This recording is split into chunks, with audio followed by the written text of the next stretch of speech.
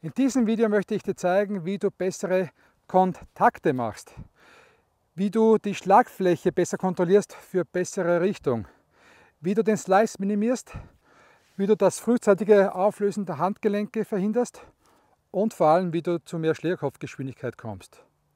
Und was das Ganze mit Zahnpasta zu tun hat, erzähle ich dir gleich.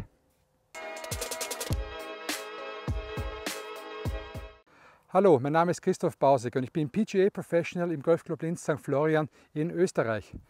Auf meinem Kanal geht es um Golf und darum, wie du dein Golf verbessern kannst. Und wenn du das möchtest, würde ich dich bitten, hier unten meinen Kanal zu abonnieren und die Notifikationsglocke daneben anzuklicken. Das ist ganz wichtig, damit wir uns in Zukunft nicht mehr versäumen.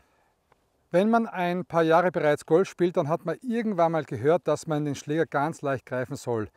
Ja, wie ein kleines Vogel, das man nicht verletzen möchte. Oder wie Zahnpasta hier, ja, wie die Zahnpasta hier, die man nicht ausquetschen möchte. Und ich habe mir vor kurzem ein kleines Gerät gekauft, äh, das ich ganz gerne verwende, um meine Schüler zu testen. Das ist ein elektronisches Handdynamometer. Da kann man damit äh, messen, wie stark der Griffdruck ist von einer Person. Und das mache ich jetzt mal ganz kurz bei mir. Und ich drücke mal so fest zu, wie ich kann. Ja, und ich komme auf fast 62 Kilo mit meiner rechten Hand. Und jetzt mache ich das mal mit der anderen Hand. Ich bin schon etwas müde heute. Schauen wir mal. Oh. So, 59,5 Kilo, also fast so viel wie mit der rechten Hand. Links habe ich 59,5, rechts irgendwas mit 61, irgendwas. Auf alle Fälle siehst du, dass das eine relativ hohe Kraft ist. Ich habe diesen selben Test mit ein paar Schülern von mir gemacht. Weibliche Hobbygolfer und männliche Hobbygolfer. Die Damen drücken so normalerweise so ja 20 bis 25 Kilo und die männlichen Hobbygolfer meistens so ja zwischen 25 bis maximal 40 Kilo. Das heißt, du siehst, dass die Hobbygolfer wesentlich weniger drücken als Profigolfer. Übrigens habe ich das auch mit vielen von meinen Profigolfern getestet. Es ist durchaus üblich, dass die über 60 Kilogramm drücken. Und auch TPI, das Titleist Performance Institute, sagt, ein Tourspieler braucht mindestens 50 Kilogramm äh, Handkraft hier, damit er ordentliche Kontakte machen kann. So, was heißt das nun für den Hobbygolfer? Wenn du nun jetzt den Schläger von Haus aus nicht sehr fest greifen kannst, dann, ja, dann wird es keinen Sinn machen, dass du diesen locker hältst, weil du im Treffmoment Probleme bekommst mit dem Kontakt. Ich habe übrigens mit diesem selben Gerät einmal so herumgespielt, wie ich im Treffmoment zudrücke und welchen Druck ich habe, wenn ich äh, ja, im Setup bin. Und das mache ich dann immer so mit den letzten drei Fingern. Das ist zwar jetzt keine wissenschaftliche Überprüfung, aber es gibt so eine Idee und wenn ich da so zusammendrücke mit diesem Gerät, was ich dir eben gezeigt habe, dann sieht man immer im Setup, dass ich so ca. 35 bis 40 Kilogramm Druck erzeuge äh, mit den letzten drei Fingern meiner linken Hand und rechts wird es wahrscheinlich auch nicht weniger sein. Und im Treffmoment, wenn ich hier das so simuliere, dann habe ich ja über 40 Kilo. Jetzt musst du dir vorstellen, die meisten Hobbygolfer können gar nicht so fest zudrücken. Das heißt, die Idee, den Schläger ganz, ganz leicht zu halten, ist vielleicht nicht ganz optimal. Und ich habe auch ein paar Schüler von mir getestet, Hobbygolfer, wie sie die letzten drei Finger der linken Hand halten. Das kann man mit diesem Gerät ein bisschen eben testen. Und da habe ich oft nur so 5, 6, 7 Kilo gesehen. Das heißt, wenn du dir vorstellst, du kommst hier mit ja, 70, 80 Meilen pro Stunde mit so einem Eisen 7 an und greifst nur 4, 5, 6, 7 Kilo fest, dann wirst du, sobald du den Ball triffst, Kontaktprobleme haben. Er wird die aus, aus der Hand gedreht werden und du wirst unter Kontakte leiden, schlechte Kontakte leiden. Profigolfer greifen hier wesentlich fester im Treffmoment und wenn sie die, den Ball kontaktieren, dann verdreht sich die Schlagfläche nicht. Das heißt, ein guter Test wäre zum Beispiel, wenn du den Schläger mal in die Hand nimmst, dann hier deinen normalen Griffdruck machst und dann versuchst, die Schlagfläche zu verdrehen. Jetzt siehst du, dass ich das komplett konnte. Ich kann hier fast um die eigene Achse drehen. Das ist nicht gut. Wenn ich zum Beispiel das mit meinem Griffdruck mache hier, ja, dann kann ich hier eigentlich das nicht verdrehen. Und das wäre auch die Idee, die du haben solltest, wenn du Golf spielst, wenn du gute Kontakte haben möchtest hier unten, dass du fester zulangst. Hobbygolfern passiert es oft, sobald sie den Ball nicht in der Mitte der Schlagfläche treffen, dass der Schläger eben verdreht wird, verkantet wird, der Ball geht in eine andere Richtung, die Energieübertragung ist nicht sehr gut und wenn du jemand bist, der am Schluss des Schlages so dasteht und hast den Schläger hier vertreten in der Hand, ja, dann hast du wahrscheinlich den Griff verloren. Und das ist ein Zeichen dafür, dass du ihn zu locker hältst. Und bitte dich darum, Versuch diesen Test hier, versuche ihn wirklich fest genug zu halten, dass wenn du mit dem Boden in Kontakt kommst, wie hier, den Boden richtig komprimierst, dass dann der Schläger eben nicht aus der Hand geht. So kommst du also nun zu besseren Kontakten nur durch die Erhöhung des Griffdrucks. Ich möchte allerdings hier eins festhalten, bevor einige aufschreien. Ja, du kannst den Schläger fester halten, du kannst ihn sogar sehr fest halten, aber du möchtest auch gleichzeitig irgendwie eine Beweglichkeit noch im Handgelenk haben. Was du nicht möchtest, ist, dass du ihn so festhältst, dass du ja, dich gar nicht mehr bewegen kannst. Und das kann man sehr wohl auch üben, dass man den Schläger festhält und trotzdem hin und her wackelt, so wie ich, rauf, runter, das geht. Ich bin zwar sehr kompakt mit dem, ja, mit dem Schläger allgemein hier, mit den Handgelenken, aber nicht super weich, aber auch sicher nicht super verkrampft.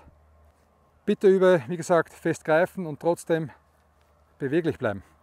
Kommen wir zur Richtung. Wenn ich den Schläger zu leicht halte, dann bin ich ja gefährdet im Treffmoment, dass ich mit den Handgelenken unnötige Bewegungen mache. Also so ein Löffeln, ein Verkanten, alles Mögliche ist möglich. Sobald du hier fester greifst, kann das Handgelenk wesentlich stabiler durch den Ball gehen und du kannst auch wesentlich besser die Schlagfläche hier kontrollieren. Das heißt, ich möchte auch, wenn du hier mal Probeschwingen machst, dass du mal wirklich bewusst wahrnimmst, wie die Schlagfläche hier gerade durchgeht, mit einem festeren Griff und spürst auch, wie du den Boden gut triffst, da darf sich nichts rühren, nichts verdrehen und dann hast du das richtig. Das hilft dir definitiv bei deiner Richtung. So, jetzt kommen wir zu der Sache mit dem Slice. Hobbygolfer neigen ja dazu, dass sie komplett überwinkeln. Sie überwinkeln deswegen häufig, dass, weil sie die letzten drei Finger loslassen. Und das führt eben dazu, dass sie vor allem hier im linken Handgelenk mehr ja, dorsale Beugung hier bekommen. Das, das Handgelenk ist zu viel gewinkelt und die Schlagfläche, ja, die öffnet sich dabei. Also schaut dann ungefähr so aus. Ja, das ist die Schlagfläche, zeigt es hierher, sollte eigentlich mehr so in diese Richtung hier zeigen. Dies passiert, wie gesagt, häufig deswegen, wenn man den Schläger zu leicht hält, weil man die letzten drei Finger verliert, überwinkelt. Wenn du jetzt den Schläger fester hältst, kannst du hier weniger winkeln und du wirst auch das linke Handgelenk hier flacher haben, somit die Schlagfläche neutraler und nicht offen. Und das wird dir jetzt helfen, dass du wieder mit einer früher geschlossenen Schlagfläche zum Ball kommst. Du musst nicht erst kämpfen, diese offene Schlagfläche irgendwie wieder zum Ball hinzubekommen und das wird dir sehr helfen bei deinem Schwungpfad und bei deiner Schlagfläche selber. Also wenn du jemand bist, der im Video oft sieht, dass du hier viel zu weit schwingst, überwinkelt hier, unbedingt testen, ob dein Griffdruck eventuell zu leicht ist, fester greifen und versuchen weniger zu winkeln, das wird dir sicherlich mal fürs Erste helfen. Jetzt kommen wir dazu, warum die Hobbygolfer oft so Probleme haben mit dem Cast, also mit dem frühzeitigen Auflösen der Handgelenke. Wie vorhin eben erwähnt, ist es häufig so, dass Amateure eben überwinkeln, die letzten drei Finger aufmachen und sobald sie jetzt wieder zugreifen, entsteht das. Also kannst du dir richtig vorstellen, ich mache jetzt hier auf, drücke zu und dann entsteht das hier. Und das ist häufiger als du glaubst und ich würde mir das unbedingt anschauen, falls du jemand bist, der eben sliced und noch zusätzlich das macht ob du nicht zufällig die Finger hier aufmachst, greif den Schläger bitte fester. Und jetzt kommt mehr Schlägerkopfgeschwindigkeit.